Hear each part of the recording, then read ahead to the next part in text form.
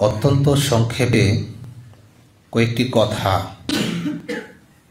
ছাত্রদের মাঝে তুলে ধরব বিজনিল্লা এবং এই কথাগুলো যদি আপনারা ধারণ করতে পারেন বিফদলিল্লা ছাত্রদের বিরাট উপকার হবে ইনশাআল্লাহ। আল্লাহ রাবুল আলমিন পবিত্র কোরআনুল কারিমের সুরাতুল মোজাদালার আয়াত নম্বর এগারো। তিনি বলেন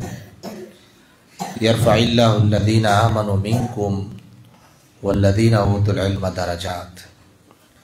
এই জগতে আল্লাহ রাব্বুল আলমিন যারা ইমান আনবে ইমান আনার পরে যারা এল অর্জন করবে শরী শুধুমাত্র তাদেরকে উঁচু করে রাখবেন। শুধুমাত্র তাদের কথাই দুনিয়াতে সম্মানের সহিত ধরে রাখবেন, আর কারও কথা না। অর্থাৎ এই পৃথিবীতে শত শত হাজারো কোটি মানুষ আসবে, যাবে। কারও কথা পৃথিবীর মানুষ স্মরণ রাখবে না। শুধুমাত্র যারা সরই এলম শিখবে, তারা মারা যাওয়ার পরেও তাদের কথা শত শত হাজারো বৎসর মানুষ স্মরণে রাখবে। আপনার দাদার কথা কেউ স্মরণ করবে না। আপনার বাবার কথা কেউ স্মরণ করবে না। আপনার গ্রামের শত হাজারো মানুষ কেউ স্মরণ রাখবে না। গত একশো বৎসর আগে আপনার গ্রামে কারা কারা ছিল কেউ তালিকা দিতে পারবে না। সবাই মরে বিনাশ হয়ে গেছে। নাম পর্যন্ত নেই কারোর জানা। কিন্তু যদি সরাই এল আপনি শিখেন, তাহলে শত শত বৎসর গ্রামের মানুষ, দেশের মানুষ, পৃথিবীর মানুষ আপনাকে স্মরণে রাখবে হাজারো বৎসর যাব এই যে উপরে তুলে ধরা, উপরে ওঠা, এই উপরে ওঠার একমাত্র সিঁড়ি হলো এল যে ব্যক্তি মরেও অমর হতে চায়, যে ব্যক্তি পৃথিবী থেকে চলে যাবে, কিন্তু পৃথিবীতে তার নাম বৎসরের পর বৎসর, শত বৎসর, হাজারো বৎসর যে ব্যক্তি তার নামটা পৃথিবীতে জিয়ে রাখতে চায়, টিকিয়ে রাখতে চায়, তার একমাত্র রাস্তা হলো এল আর শেখ আলবানি রাহিমাহুল্লাহ মারা গেলেন, থাকবে না পাঁচশো হাজার বছর তার নাম পৃথিবীতে থাকবে, প্রতিদিন উচ্চারণ হচ্ছে। এবার মালিক রাহিমাহুল্লাহ। নাম আছে না পৃথিবীতে? মদিনার ইমাম। কিসে তিনাকে উপরে তুলে ধরলো? কিসে? এল তিনি ঘরের ওই ছাদ বিক্রি করে ফেলছিলেন। ঘরই ছিল, আমাদের মতো তো আর এরকম ইট দালানের ছিল না। যেমনই ঘর ছিল, সেই ঘরের ছাদ বিক্রি করে ফেললেন কিতাব কেনার জন্য। টাকা নেই। এখন কি করবেন? কোনো ব্যবস্থা নেই। ঘরের ছাদ বিক্রি করে ফেলছেন। কিতাব কেনার জন্য। ইমাম মালিক। আজকে যে তাফসির আমরা পড়ি, তাফসির তাবারি, আবু জাফর, জারির তাবারি রাহিমাহুল্লাহ, হাজার বৎসর। কিসে? কিসে তিনাকে তাকে উপরে তুলে ধরল?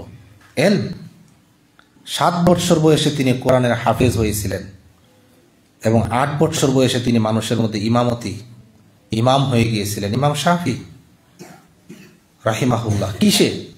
কিসে তাকে উপরে তুলে ধরল? এল তিনি আঠারো বৎসর বয়সের মধ্যে তিনি মুফতি হয়ে গিয়েছিলেন। দুনিয়ার মানুষ সবাই এই আঠারো বছরের বালকের দিকে যে ইমাম শাফি কি বলে, চলো তার কাছে যাই। আজকে ইমাম শাফি চলে গেলেন হাজারো বৎসর। কিসে কিসে তাকে তুলে ধরলো? এল সেজন্য প্রিয় ছাত্রবৃন্দ এই এখান থেকে ইমাম শাফি হওয়া সম্ভব। বিশ্বাস হয়? বিশ্বাস হয়। এখান থেকে, এই বৈঠক থেকে। ইমাম বুখারি হওয়া সম্ভব। আর শেখ নাসিরুদ্দিন আলবানি হওয়া সম্ভব এই বৈঠক থেকে। শুধুমাত্র ইমাম শাফির সেই ছয়টি কাজ আমল করলে হয়ে যাবে এক একজন ইমাম যুগের। কয়টি কাজ, ছয়টি। মনে রাখতে হবে। ইমাম শাফি বলেছেন, আখি লাং তানাল ইলমা ইল্লা বিসিত্তা ভাই আমার, তুমি এলম অর্জন করতে পারবা না যদি না ছয়টি জিনিস তুমি অনুসরণ না করো। সাউনাব্বিহুকা আন তাফসিলিহা বিবায়ানিন। আমি তোমাকে এই ছয়টি বিষয় বলে যাচ্ছি, শোনো। জাকাউল, যে ব্যক্তি ইমাম বুখারি হতে চায়, তার মেধা থাকা লাগবে। এখন আপনার মেধা আছে না নাই?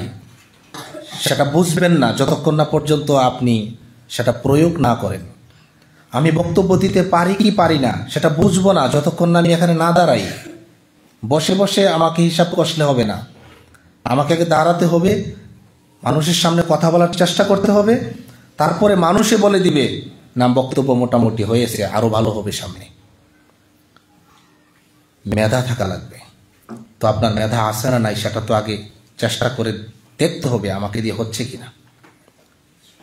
দুই নম্বর ওয়াহের সুন লোভী হতে হবে, লোভী। জ্ঞান অর্জনের জন্য লোভ থাকা লাগবে অন্যান্য সকল কিছুর ক্ষেত্রে লোভী লোভ করা পাপ।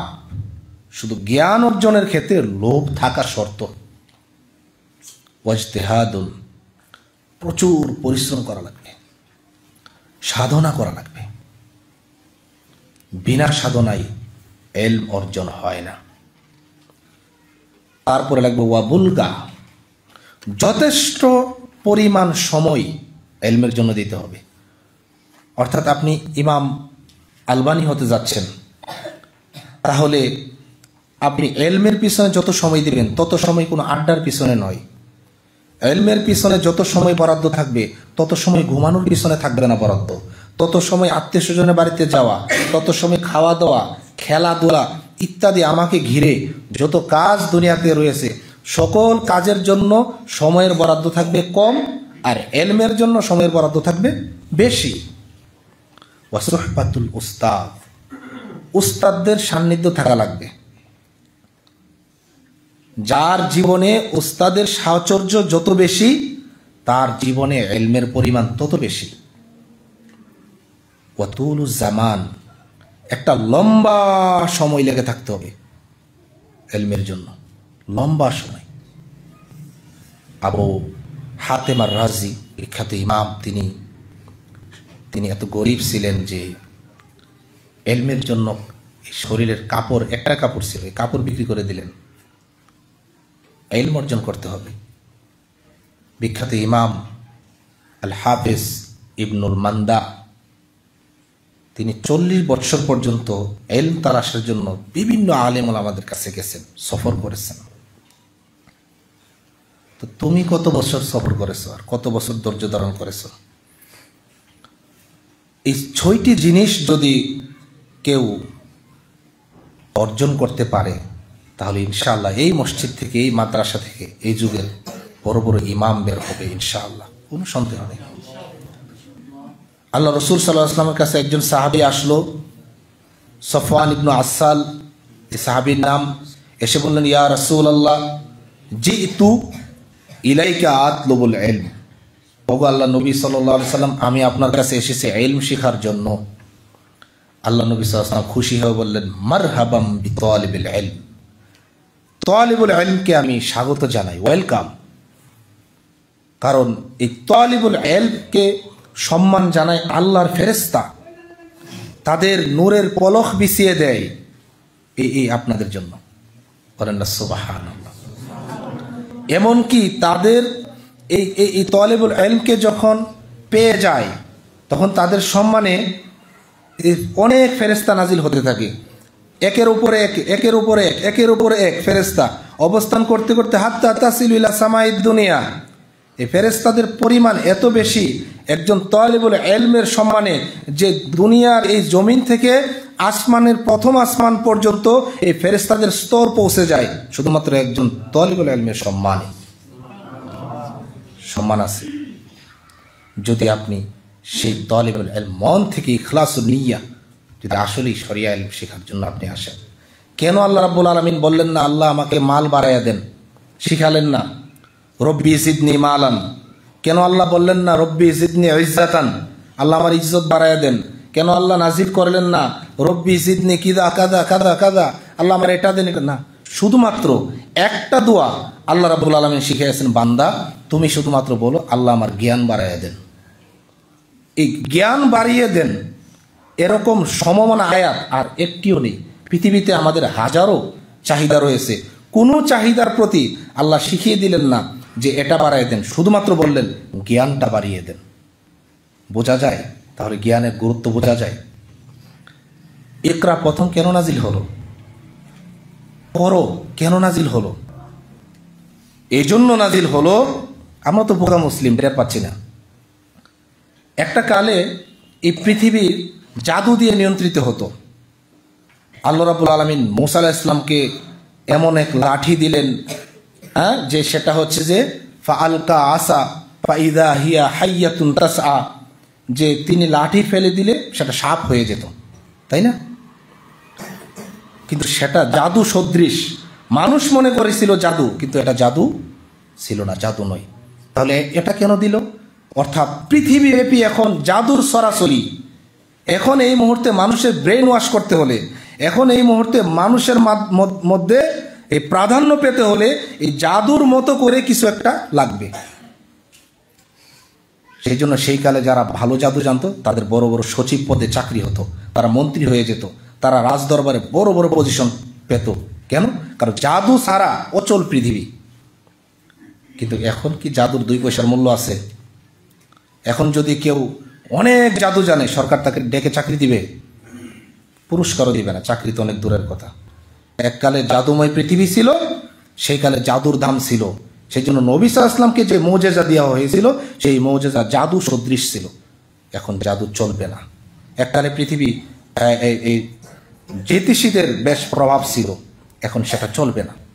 যেটা ঈসা আলাহ ইসলামের সময় তিনি হাত দিয়ে গা মুছে দিতেন, শরীরের রোগ ভালো হয়ে যেত, চক্ষু চক্ষুষ্মান অন্ধ চক্ষুষ্মান হয়ে যেত। কিন্তু এখন সেই জ্যোতিষী চলবে না।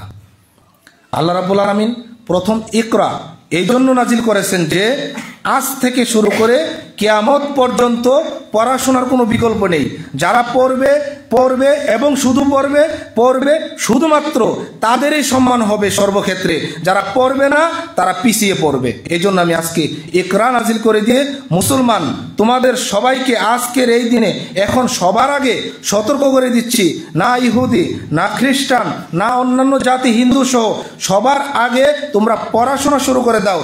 পড়াশোনা করো, পড়তে পড়তে পড়তে পড়তে তোমাদের অবস্থান সবার চেয়ে আপডেট রাখো, তাহলে আগামী পৃথিবী বিজ্ঞান দিয়ে নিয়ন্ত্রণ হবে যখন বিজ্ঞান এই পৃথিবীতে শুরু হয়েছিল না, ইসলাম সর্বপ্রথম এই পড়াশোনা, গবেষণা, বিজ্ঞানের ইঙ্গিত আমাদেরকে দিয়েছিল, কিন্তু আমরা টের পাইনি।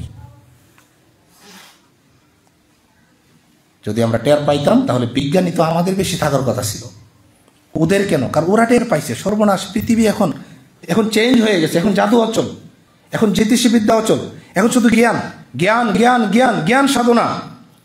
ওরা টের পেয়েছে। আমরা টের পাইনি যার কারণে আমরা জ্ঞান সাধনায় পিছিয়ে পড়ে গেছি। অতএব চলো আমরা ঘুরে দাঁড়াই। জ্ঞান সাধনায় সর্বোচ্চ সময় দিনের চব্বিশ ঘণ্টার মধ্যে। এই যে কিছুদিন আগে একটা আর্টিকেল পড়লাম এই ডক্টর জাকির নায়কের ব্যাপারে, যে তাকে তার প্রশ্ন করা হলো মঞ্চের মধ্যে যে আপনি আপনার এই অবস্থানে আসলেন, ডাক্তার হয়ে কীভাবে সম্ভব, কীভাবে আপনি সময়টি কাজে কাজে লাগা, লাগালেন? ডাক্তার জাকির নায়ক তিনি নিজের জবানে বলতেছেন, বিগত পঁচিশ বছর যাবৎ আমি মঞ্চে দাঁড়িয়ে আল্লাহ রহমতে আমি যতগুলো জ্ঞান সাধনার ইনফরমেশন দিয়েছি, তথ্যসূত্র দিয়েছি, সেটা পৃথিবীর যে কোনো ধর্মের, যে কোনো গ্রন্থের থেকে হোক, আজ পর্যন্ত আমি একটা রেফারেন্স ভুল দেই নেই, আলহামদুলিল্লাহ। আর সেটা সম্ভব হয়েছে, বিগত পঁচিশ বৎসর যাবৎ শুধুমাত্র আমি চার থেকে সাড়ে চার ঘণ্টা ঘুমাই। আর এই চার থেকে সাড়ে চার ঘণ্টা ঘুম বাদ দিয়ে বাকি যেই উনিশ ঘণ্টা, বিশ ঘণ্টা সম্পূর্ণ পড়াশোনা করিনি। একাধারে বিশ ঘণ্টা পড়াশোনা করে পঁচিশ বৎসরের মধ্যে আজকে পৃথিবী কাঁপানো জাকির নেক।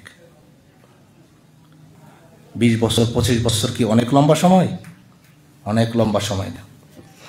ইয়া লাইতানি, আমি আফসোস করি যদি আপনাদের মতো এমন একটা ছোট বয়স আমি পেয়ে যেতাম আজকে। আমি আফসোস করি, কারণ অলরেডি আমার বয়স তিরিশ প্লাস এখনও আমার সময় বাতি নিবে যায় না এই বিষয়টা আমি মনে করি না, ইনশাআল্লাহ। আমি আমার জায়গা থেকে এখনও পড়াশোনা করি, তবে আফসোস করি যদি আমার বয়সটা দশ বছর পেয়ে যেতাম, পনেরো বছর পেয়ে যেতাম, তাহলে শেষ করি প্রিয় ছাত্রবৃন্দ। তোমরাও এরকম একটি টার্গেট নাও। ইমাম শাফির দেওয়া এই ছয়টি মূলনীতির উপরে পনেরো থেকে বিশ বছরের একটি টার্গেট নাও। এই মসজিদ থেকে, এই মাদ্রাসা থেকে ইনশাআল্লাহ ডক্টর জাকির নাইক বের হওয়া সম্ভব। সম্ভব কি না?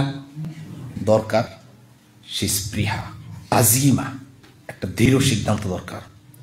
আল্লাহ রাব্বুল আলমিন যেন আমাদের ছাত্রদেরকে সেই হিম্মত এবং সেই আজিমা দান করেন বলে আমিন। হাদা হুয়া মা ইংদি ও সল্লাহ তালা نبينا محمد. السلام عليكم ورحمة الله وبركاته.